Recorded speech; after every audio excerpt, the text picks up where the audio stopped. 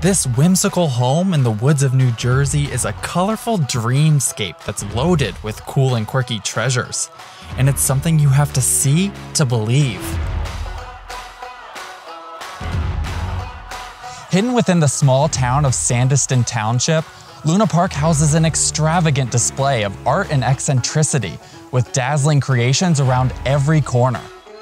A mosaic walkway leads through the terraced yard to the front facade, where visitors can take in the Technicolor trimwork and turrets. An endless array of sculptures and other intriguing structures are sure to enchant you along the way, while giving a hint to the wonders that await inside. Visitors can enter the house through a passageway known as the Artichoke Portico to start exploring its multi storied magnificence. Once inside, art takes on an intimate form in each of the estate's 15 rooms, complete with collections of antiques and artifacts in every nook and cranny. The Grand Ballroom is a multimedia masterpiece featuring oddities such as the chandelier, which extends through the floor into the cantina. Vibrant and vintage cooking gadgets can't be missed in the kitchen, alongside a wall treatment fashioned with more than 10,000 wine corks.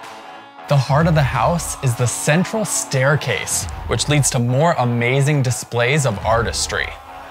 Relaxation is found just a few steps away on the cozy couch and pillows of the Zen room, embellished with a bright blue ceiling and wispy painted clouds.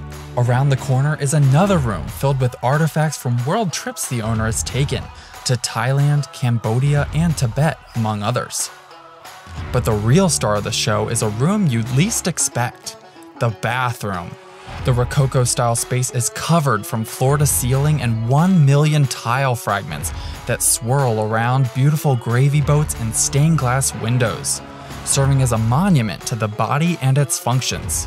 No matter where you look, Luna Parc is an ever evolving canvas brought beautifully to life by the madcap mastermind, Ricky Boscarino. Luna Parc is uh, my home. It is my greatest obsession and biggest work in progress uh, as an artist, as a working, living artist.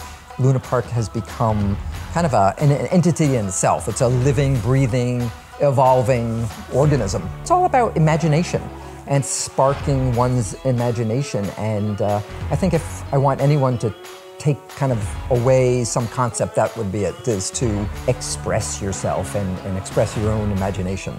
Luna Parc also serves as an educational facility, studio, and workshop for aspiring artists.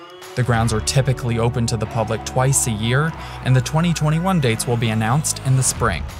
To stay updated, visit www.lunaparc.com. When you step into this wild and wacky wonderland, don't forget you can only find it just in Jersey.